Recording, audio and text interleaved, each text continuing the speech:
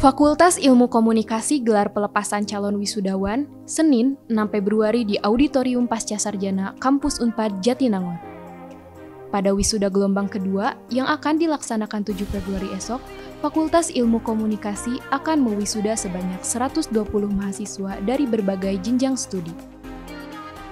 Manajer Pembelajaran Kemahasiswaan dan Alumni Fikom Unpad, Agus Tiaman menjelaskan, acara pelepasan calon wisudawan ini merupakan kegiatan seremonial kedua yang diselenggarakan.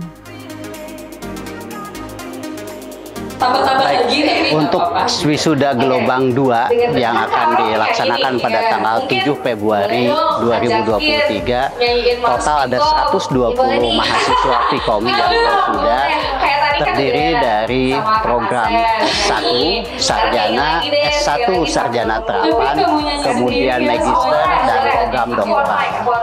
Bahkan tahun ini atau wisuda kali ini yang paling banyak itu adalah wisuda dari program sarjana.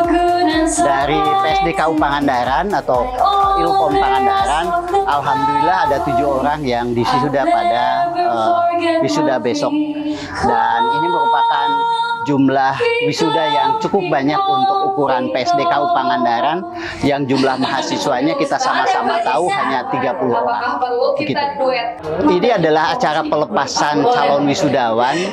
Kami menggagas acara ini sebetulnya adalah untuk mengingatkan kembali mereka bahwa setelah mereka ke, keluar dari kampus bahwa apa yang kemudian mereka dapatkan dari kampus apa yang menjadi kesan dan pesan buat kita.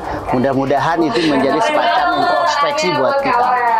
Dan ini adalah tahun kedua kita menyelenggarakan pelepasan wisuda. Dan mudah-mudahan pelepasan wisuda itu sebuah kegiatan yang rutin kami lakukan.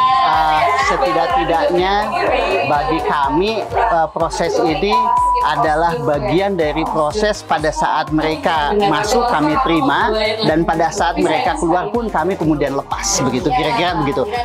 Ketika di awal diterima maka di akhir pun kami lepas. Seperti itu. Selain mahasiswa Unpad Kampus Jatinangor, terdapat tujuh mahasiswa yang ikut di wisuda dari kampus PSDKU Pangandaran esok. Dari Sumedang, Jawa Barat, Hairunisa Rahmatika Bayu Murti melaporkan.